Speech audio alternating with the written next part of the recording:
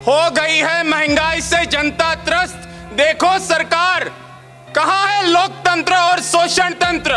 Petrol में लगी आग, डीजल से उठ रहा धुआँ। खरीदारी का यह बाज़ार बन गया है शोषण तंत्र का कुआँ। जो लॉकडाउन उन्होंने लगाया तानाशाही के रूप में, चार घंटे के नोटिस में, उसने लाखों परिवारों को सड़क पर खड़ा कर दिया, करोड़ों युवाओं को बेरोजगार कर दिया।